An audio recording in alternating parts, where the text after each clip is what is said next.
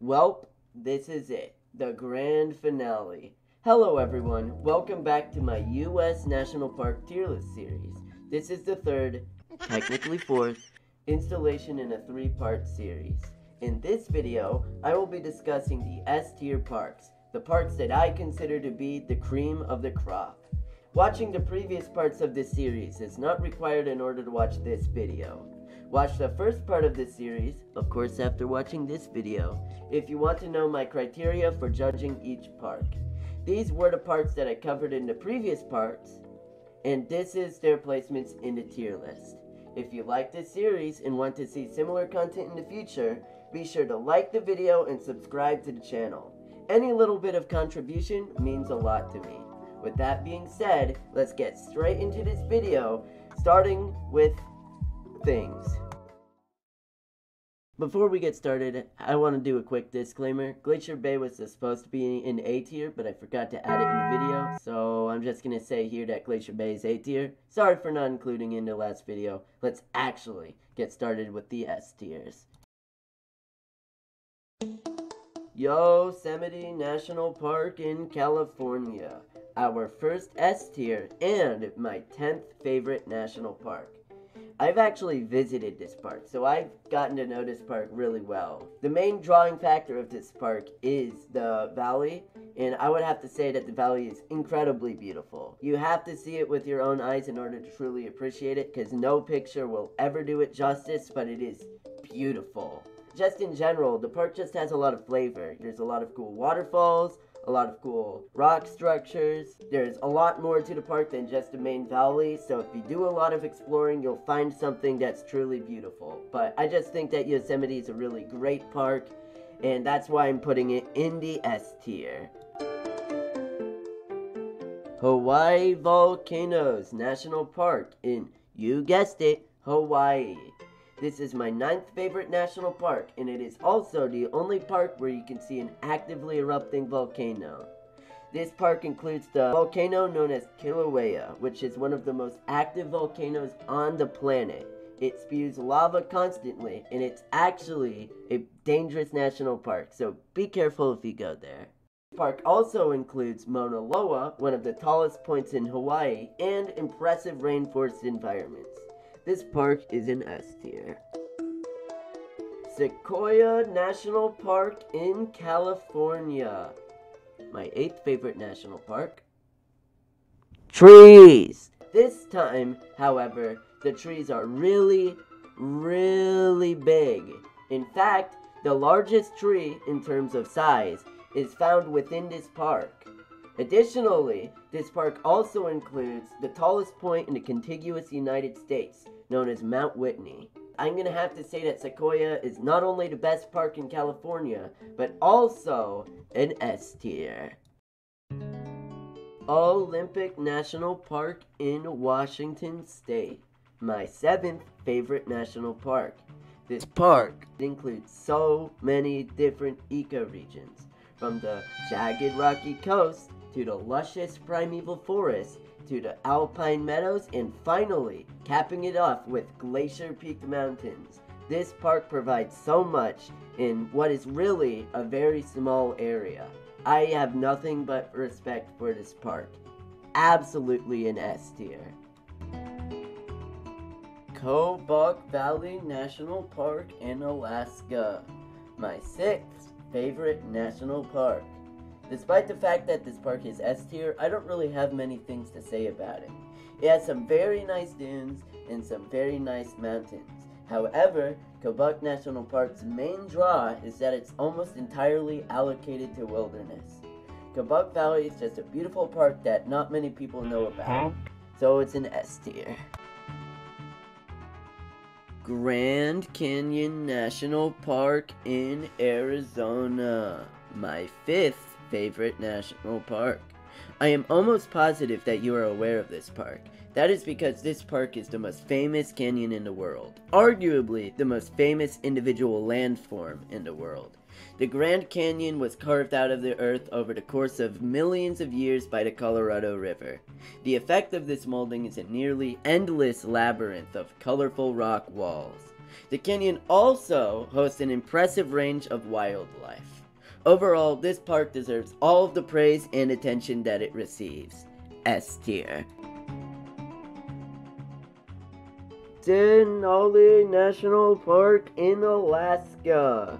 This is my fourth favorite national park.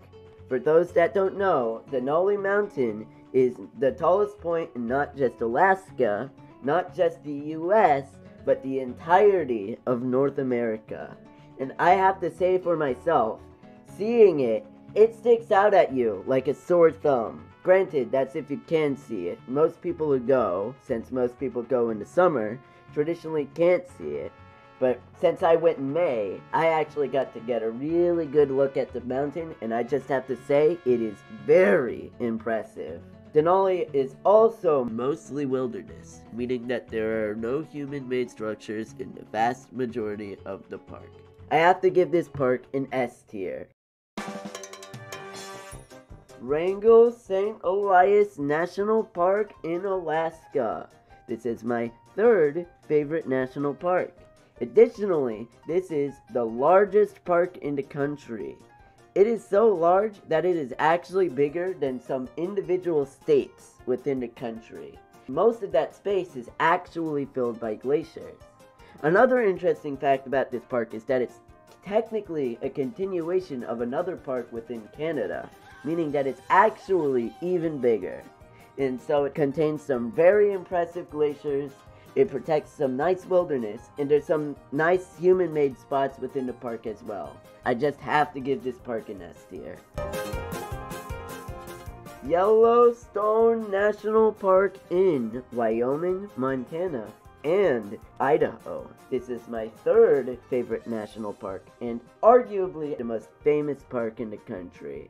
You probably know what this park is. I've actually been to this park, so I know how famous it is because, God, there are so many tourists in this park. It is ridiculous. Yellowstone, man. It's just an iconic park. Old Faithful, all the different types of hot springs. Fun fact, this park contains 50% of all the geysers and hot springs in the world. That's ridiculous. And additionally, this park is hosts an insane amount of nature, an insane amount of wildlife, and I just have to say that this is the best park in the contiguous US. Just so happens that this is also one of the first national parks in the country, and also just one of the first national parks in general. I have to give this park an S tier, there's no better place for it. And then, there was only one. The last park. My personal favorite national park of not just the US, but the entire world. If you're a national park nerd like myself, you already know what the park I'm going to say. For the rest of you, I guarantee that this is going to be the first time that you've heard of this park. Before I reveal what my favorite park is, I would like to take a very quick intermission to do my annual setup tour. For the uninitiated, I do a tour of my setup every anniversary to celebrate the channel's creation. It's a tradition that I started two years ago, and I hope to continue it into the foreseeable future. Since I know you guys are here for the national parks, I'm not going to waste your time with this. Without further ado, here is my current setup in 3, 2, 1... And here it is. Alright, uh, you've already seen most of this stuff, so I'm going to make this quick. So basically, chair's the same. I use this towel because this stuff makes my back hurt. Keyboard's the same, mouse pad's the same, monitor's the same, speakers are the same, can't see them, but they're there. Our headphones are the same, and computer is the same. But this time, I have to use these rubber bands because this fan keeps falling off. There's really only two new parts to this setup. That is my microphone and this mouse. So this microphone, uh, it's a uh, I don't know what it is specifically. I'll put up all information in the description if you're wondering. But yeah, I use this microphone while I'm streaming. It's okay. Sometimes the uh, audio can get a little scuffed. Demo. This is a demo of how scuffed it sounds. Audio demo. This is scuffed. Right. But other than that, I like it. Even though it did get a little dented. I don't know if you could see that, but it got a little dented. Unlucky. While I'm recording for audio, I like to put a shirt over it to muffle any noise, white noise. It works good enough. But yeah, like the microphone. Secondly, we have this mouse. Now, I actually got this mouse very recently, like only about a week ago.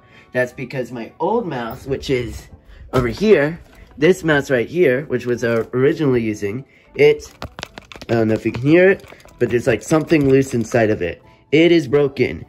So, I use this mouse now. Again, all information will be provided in the description. I don't really want to go over it now, but yeah, I like it. It's a little more lightweight. I can actually right click.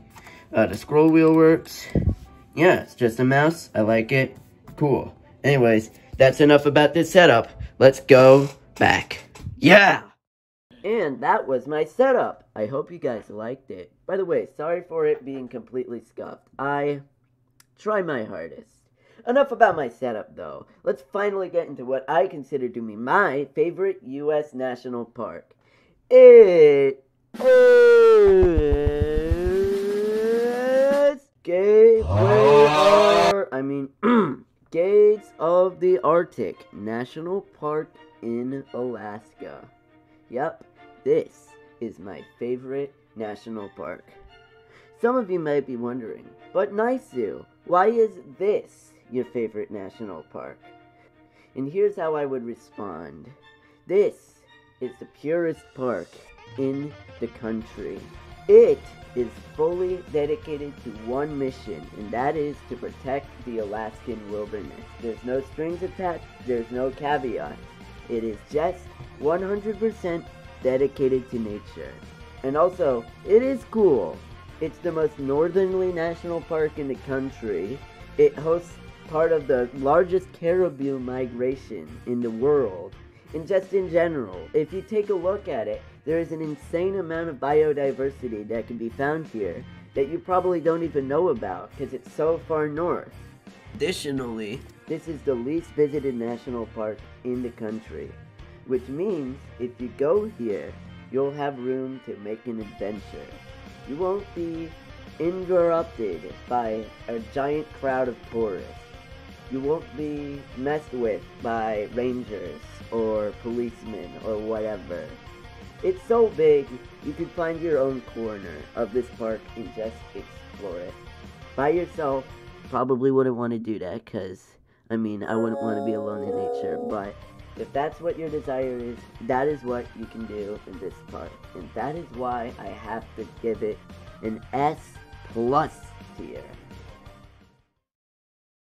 And with that, I have finally completed my U.S. National Park tier list. Thank you to everyone who watched this series, even through all the highs and lows. Even though I would consider the national parks that I've covered in this video to be must-see parks, I would still highly recommend visiting the lower parks as well. Every national park, besides the one, ah. will provide you with an experience that you will never forget. If you enjoyed this series and this video, be sure to subscribe to the channel in order to catch up with any of my other uploads. I hope you enjoyed this video, and I hope to see you next time. Bye bye!